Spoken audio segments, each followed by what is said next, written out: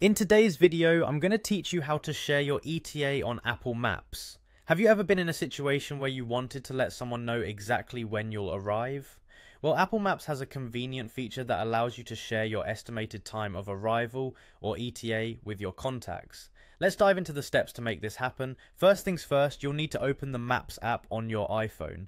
To do this, locate the familiar Maps icon on your home screen or in your app library. Once you've got Maps open, it's time to set your destination. Simply tap on the search bar and type in the location you intend to navigate to. Apple Maps should provide you with options as you type. Choose the correct one to set your route. Now that your destination is locked in, you'll see a route card at the bottom of your screen. This card provides useful information about your journey, such as the estimated time and distance. To move on to the sharing process, tap on this card. It's from here that you'll find the share button.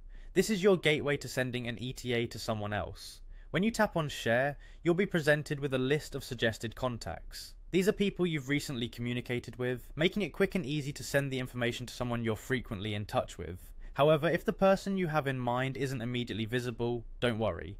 You can access your full contacts list to find their details. Once you've identified the person you want to share your ETA with, tap on their name. Confirming this action will prompt your iPhone to send a notification to the recipient. If they're using iOS 13.1 or later, they'll not only receive your estimated arrival time, but also have the option to view your progress in real time on their version of Apple Maps. And there you have it, a straightforward process to keep others informed about your travel plans using Apple Maps ETA sharing feature.